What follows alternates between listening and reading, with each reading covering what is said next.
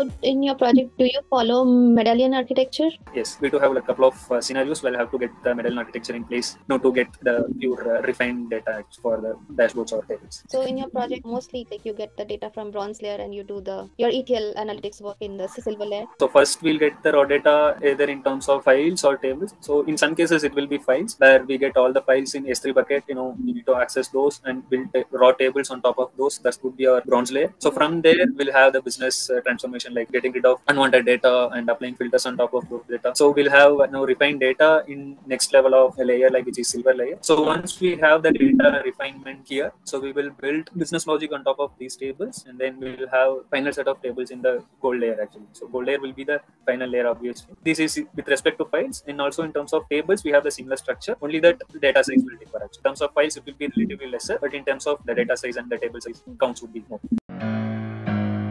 So in a data engineering project, the data quality is a very important component. So how did you implement data quality in this project that you were handling? So basically, like as I mentioned, we have daily data coming. So we need to make sure the data that we are receiving. So it is like the only data that we are extracting, right? So let's say if you are having thousands of data, yesterday you got thousands of data, today also you are getting 1020 data. But now you need to make sure that you are only extracting the 20 data out of the 1020 records, the latest one basically. So in that case, we have this incremental logic in place wherein we are just only making sure that we are extracting the required data that we need. Once the data is extracted, then what we are trying to do, we have some primary columns that cannot be null at any point of time. So we need to make sure that we don't have any null in that in one place. And then we are doing some kind of duplicate checks as well. Since our data is at outage based data, I mean dealing with the electrical utility. So we need to make sure in an outage we should not have more than one meter ID. So in an outage we can have only one meter ID because meter is specific to particular home and we cannot have one meter to two different homes attached to that particular region. So we are making sure that we don't have duplicate records. We are again checking some kind of schema check. Since we know that we are not going to have schema difference, but also more layer of security, we are checking that the data that we received is the static one that we are loading to. So these are the primary check that we are you know involving in right now.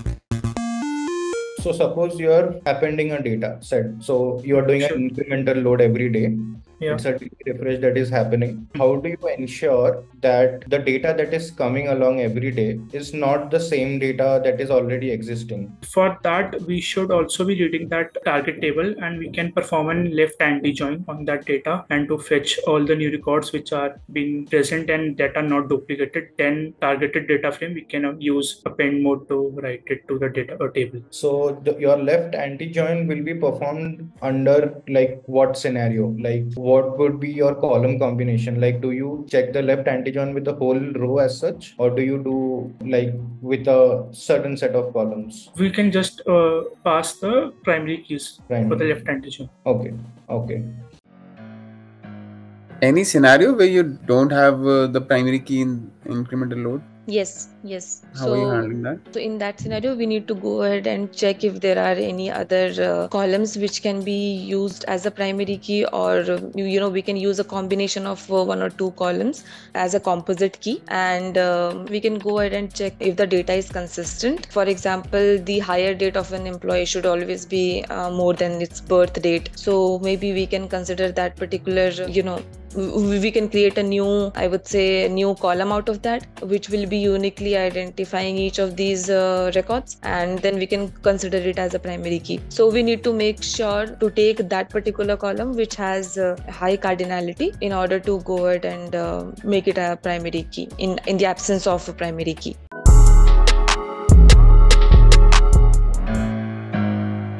what do you understand by normalization? Normalization is the way uh, what we can say is to arrange the data in such a way so that you know only is to uh, reduce the amount of redundancy on the data. For example if you see the sales table or product table so whatever the sales table, product table that will have a lot of redundancy related to the orders and items, whatever the various customers has purchased. So in order to reduce the redundancy, we divide it into some small, small tables, uh, which has some links on the basis of their IDs that we can say as dependencies we have multiple uh, normal forms, right? We have one NF, then we have two NF, three NF, and so on. Yes. As we move up the ladder, like which is better? Like one NF is better or four NF is better? If I just talk about it, or three NF is better. So what I can say is like it completely depends on the use case, what use case you have. So when it comes to the transactional DB, or when it comes to the relational DB, or when it comes to the analyzing those tables, what we can say is for transactional DB, definitely the four NF will be good. Higher normal form are good. But mostly when it comes to the analyzing those tables, when we will analyze it, so it will have a lot of complex joins that may use a lot of resources behind the cloud and may affect the query performance. So for that, you know, only the one normal one NF will actually work, which will reduce uh, all those problems related to resource utilizations as well as the complex joins that all we can avoid, and it will help us to analyze the data very easily.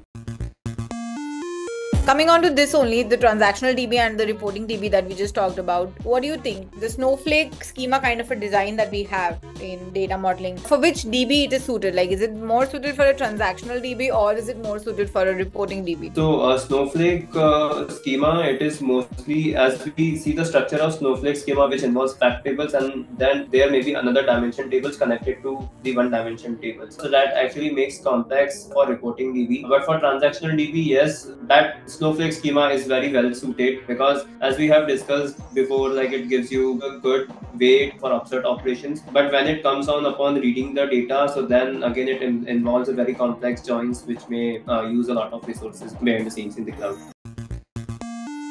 What do you understand by column stores? What happens is columnar based is it uh, put the data in terms of columns. Every column is uh, coming in a one sequence. So the main use of this is while writing it has to make uh, use of this. Yeah, okay. First I have to put that column there, that value there, that value there. Because but while reading it is very very effective because if we make uh, use of subset of columns, it won't have to scan that 220 columns. Just Mhm. those subset of columns it will scan and it can make a effective use of that. Can you briefly explain me what is a CAP theorem? For NoSQL databases, CAP theorem is something which says that a distributed system can provide us either of the two topics. So one is consistency, another one is availability, and the other one is partition tolerance. So by consistency, it means that the data in a distributed cluster will be consistent throughout from the source to the target, and uh, by availability meanings it will be available in each different layer by the different teams. And by partition tolerance it means that even if there is a network failure the system is able to run properly. But then yes we cannot get all of these in a single single system because we are performing everything in cloud or network so it is not possible to get three all three in a particular place either of two is present in a distributed system Can you explain what is hash function? let's say we are taking it as a modular function as a hash function Mhm. so hash function is a unique way to just identify different different transactions in one. So let's say if i am taking a modular function of four now if four or- order IDs are there one two three four now that for first order the hash value will be one for second order the hash value will be two third it will be three and again for four it will be zero. So basically here the hash function is the reminder. So for fifth order id again the hash value will be one. So the first and fifth will be kept in a one group. Now whenever a new transaction comes for querying now we know which bucket to access because the hash function will just find the modulo the reminder and now the bucket will be identified. And now we know that okay we have to search this uh, in this bucket only. So it also helps in querying this function kind of a way to differentiate the different different data points into the one unique set basically so that the querying becomes Within ET, what is slowly changing dimension? So slowly changing dimension uh, is a concept. So basically, when you have a certain dimensions which evolve or changes over time. So like uh, example, a customer address, right? He does not changes frequently. So it changes over time. So those are slowly changing dimension. In ETL, we have majorly three types. Those are type one, type two, and type three. In type one, you just maintain the current version. So you delete the older data and just maintain the current version. Suppose in case a customer is his recent address, you just mention the recent address. You don't need the previous address. So in that case, you'll use SCD type 1. And in type 2, you basically track all the history of the customer. right? Suppose in case you want to track all the mobile numbers that the customer had. So in that case, you will use SCD type 2. So generally, we add certain columns like flag or versioning, which basically helps us knowing that, okay, this particular record has changed over time. There are inserts or updates in this table. You maintain that. And in type 3, you maintain generally the current version plus the last version, like the previous address and the current address only. So these are the three major types. Depending on the use case, you implement those types.